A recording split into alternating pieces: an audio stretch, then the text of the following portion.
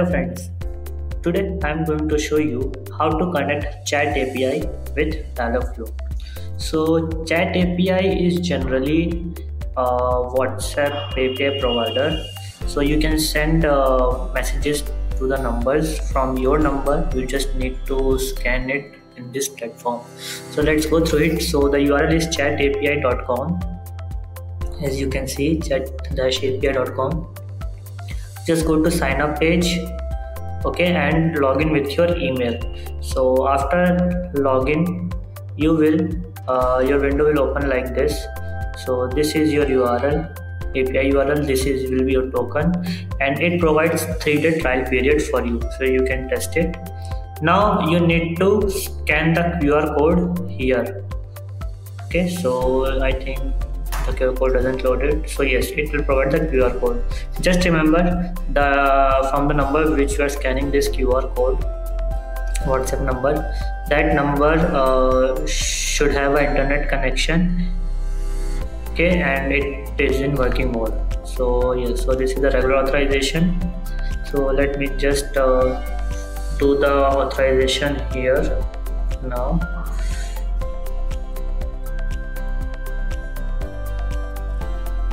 yes so um, i scanned it with my one of my number.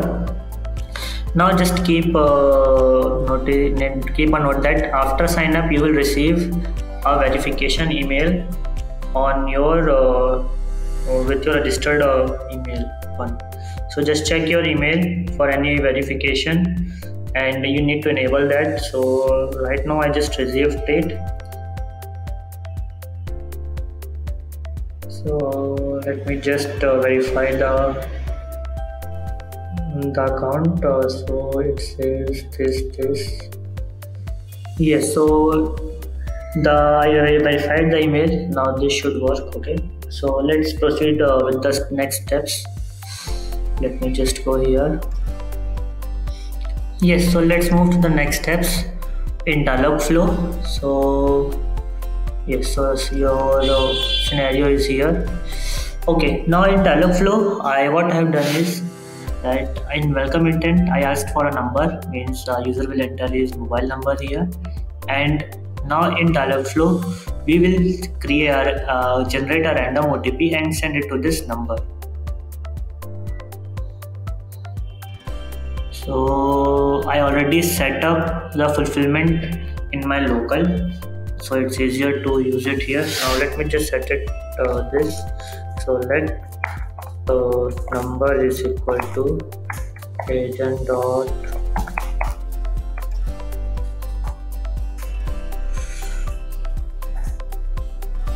mm, yes. Now what I have to do is I need to generate an OTP so at dot load four digit OTP we will create.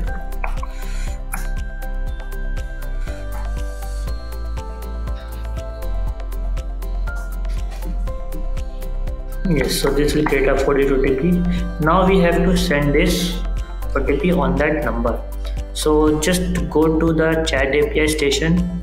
If you go to the home page of it and scroll down you will see that there is a code to send a message.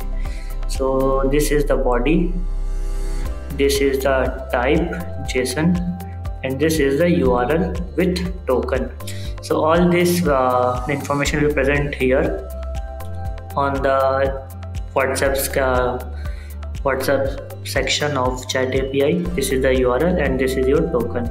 So let's uh, put it here. So for this, I'm using Axios. So I already have a code. Let me just go to here. Yes, so this is the code. Now let, me copy this. Go here, paste it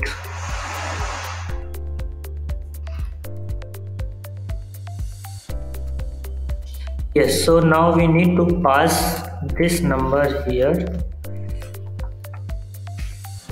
uh, yes this is a mobile number and we need to send OTP in the body so your OTP is okay you all need to change the token here it's already there and the url is instance 353793 okay? This is a code. Now what i will do is after sending it i will give a response to user. Uh, please check your whatsapp for an otp and then agent add uh, enter the OTP. Okay. Now we need to uh, send this value to the next intent, this OTP value to the next intent where we can compare this. So let me just set the context. I will pass this value in context only. Agent dot context dot set. So context name will be let's say OTP verify and lifespan I will give it 1 and uh, parameters inside this there is OTP in which I will pass this OTP parameter. Yes so this is done. Okay now need to create next intent so I already created it. So this is the next intent OTP verification in which I put input context is OTP verify so in this context I will receive the OTP value. And uh, this is the training phrase. So this is the training phrase for which the user will enter.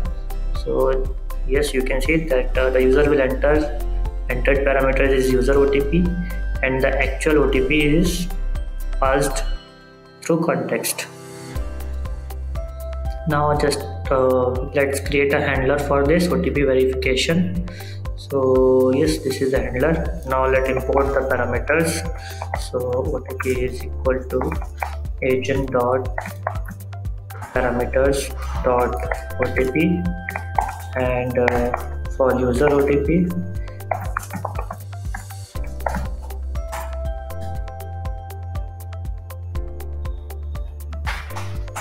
otp so don't confuse here this is the generated OTP and this is the OTP entered by user.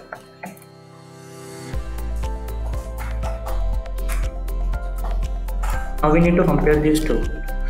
So if OTP is equal to equal to user OTP and it will give a response like where uh,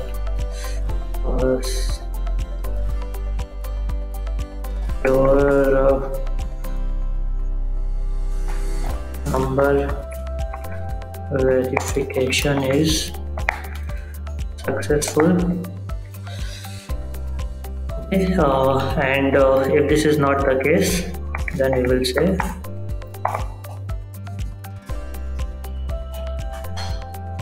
sorry wrong OTP please try again. Right so this is the one. I already created the handler here OTP verification. So I think this should work now. Let's give it a try so I just save it and uh, run it. Now let's test it uh, here. Uh, let me just reset the context. I say hi.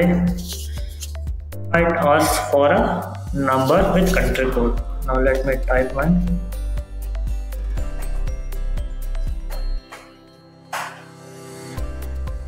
Okay, so I think it sent a OTP. Check your WhatsApp and OTP. Enter the OTP. So I already log in into the OTP my WhatsApp section. OTP will come here let's wait for it okay and uh, meanwhile then uh, yes so here's the OTP your OTP is 9476 okay so let me just uh, put it here. 9476 yes so your number verification is successful. Now let's try again with a wrong otp okay? So let me just say hi enter otp okay so it says otp is sent enter the otp now let's check for another otp here okay so my next otp is 3867 uh, let me just put it here 1223 yes so sorry wrong otp please try again. Yes so in this way we can use chat api to send messages on whatsapp. Alright and uh, there is also a webhook section set a webhook in which we uh, which we can use to create a chatbot using this chat api platform. Uh, yes and that's uh, for uh, and that's it for today. In the next video i will show you how to set up a webhook and how to create a chatbot with it. So thank you everyone